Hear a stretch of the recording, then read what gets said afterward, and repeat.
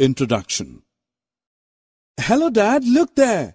Sharma uncle is shifting his family and home articles to somewhere near. Dear Sam, they're shifting to their new home. Now Mr. Gupta will be in our neighborhood. Dad, what do you mean by neighborhood?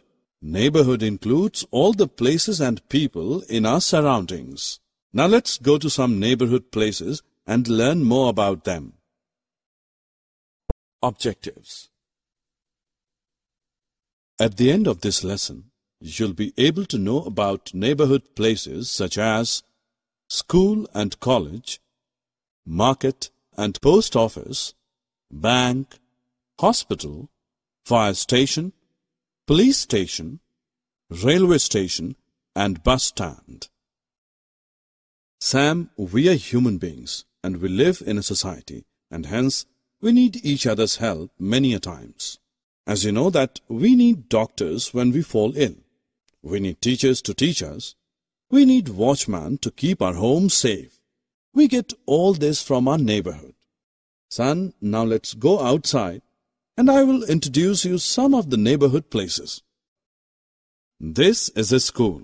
Hey, Dad, this is the same school I go every day. I love my school. I love to learn and to play with my friends in the school. Good.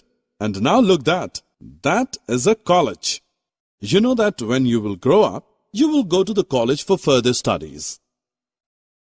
Hey, look here. This is a market. Yes, yesterday we bought some toys and dresses from this market. We buy so many things from market. I remember, that uh, you buy vegetables and fruits from the market as well. Yes, that's right. Let's move ahead. This is the post office. People drop the letters in the letter box from where they go to the post office. From the post office, the postman collect these letters and bring them to us. Now let's go ahead. Dad, what is this? This is a bank. We all keep our money safe inside a bank and we can take out our money at any time of need. Besides the money, we can also keep our important papers and jewelry in the bank. Son, this is a hospital. Here doctors give treatments to people who are ill.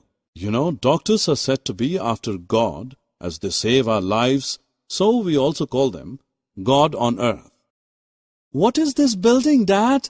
This is a fire station.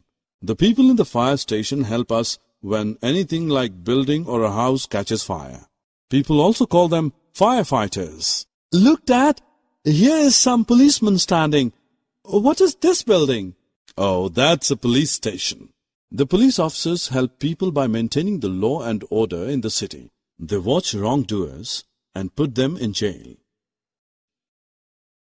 Friends, now it's time to have some fun. Drag and drop the names of things in front of their respective images. Dad, I'm getting tired now. Uh, shall we go back home? Okay, dear. Let's go to the railway station. This is the railway station and in front of it, that is the bus stand. People travel by trains or buses. Trains and buses join our city to various places. Friends, let's check our understanding. Click on the correct options.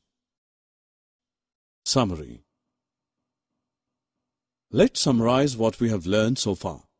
Neighborhood includes all the places and people in our surroundings. In school and colleges, we learn new and good things. We purchase different things from the market. People receive and send letters through post office. In hospitals, Doctors provide medicines and treatment to patients. In banks, people deposit their money and jewelry to keep them safe. Firefighters and police officers help the people in need and save them. Buses and railways join distant places.